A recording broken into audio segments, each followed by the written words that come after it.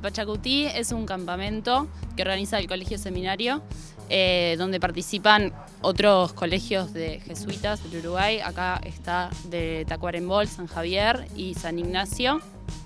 Generalmente también vienen de otros países, de Chile y Argentina, esta vez por la pandemia nos quedamos solo con, los colegios de Uruguay. Pero nada, es un campamento de trabajo en donde se viene una semana acá en, las vacaciones de julio, la primera semana de vacaciones de los chiquilines, eh, hacer nosotros en este momento estamos en Rayito de Luz, un centro de discapacitados en Ciudad del Plata.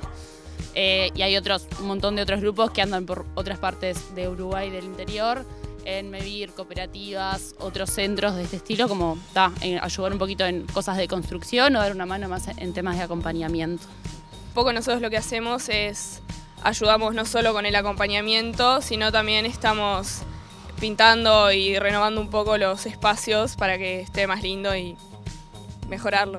No solo que estoy pudiendo servir, sino que también estoy creando nuevos vínculos con gente de otros colegios y se está armando un grupo muy muy lindo. Estamos en la casa de Mirella, que nosotros vinimos al Pachacutí y estamos acá en su casa trabajando con todo lo que podemos. Yo hace pila que tenía este plata juntada para comprar el alambre y todo eso y no, tenía quien me lo hiciera, quien me lo hiciera. Cuando dije que iba a venir, bueno, yo voy a ver si, si este, le digo que puedan hacerlo. Sentí confianza que ellos iban a poder y quedó hermoso, me pusieron todo el alambrado allá, me pintaron la casa, me arreglaron la virgencita que yo tengo una gruta me hicieron el portón con un sacrificio, con un serruchito chiquitito, le hicieron todo el portón, enorme portón. Pues nosotros acá tenemos un, un merendero para niños y tenemos una olla popular. Me hicieron la tribe para poner, poner las ollas, que estaba muy feo eso. Y me acomodaron todo, me pintaron la casa y todo. Ah, yo, chocha la vida.